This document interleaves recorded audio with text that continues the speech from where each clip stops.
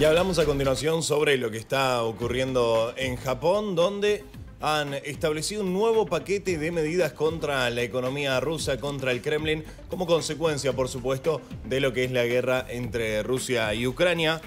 Anunciaron en la jornada de hoy, desde el gobierno nipón, la inclusión de nuevos individuos y entidades rusas a las sanciones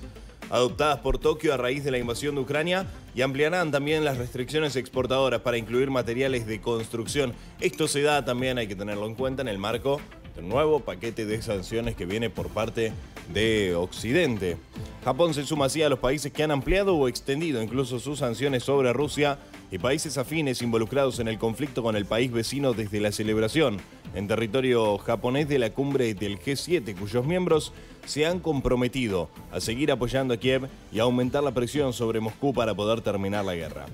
Con el propósito de contribuir a los esfuerzos internacionales para solucionar el conflicto por la vía pacífica, Japón anunció hoy la inclusión de 24 individuos y 78 entidades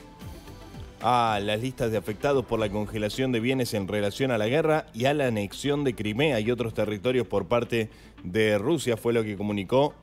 el Ministerio de Exteriores. En este sentido, se han añadido también entidades que podrían llegar a recibir productos destinados a los sectores de ingeniería y construcción. Fue lo que explicó en rueda de prensa el portavoz gubernamental japonés Hirokazu Matsuno. De este modo,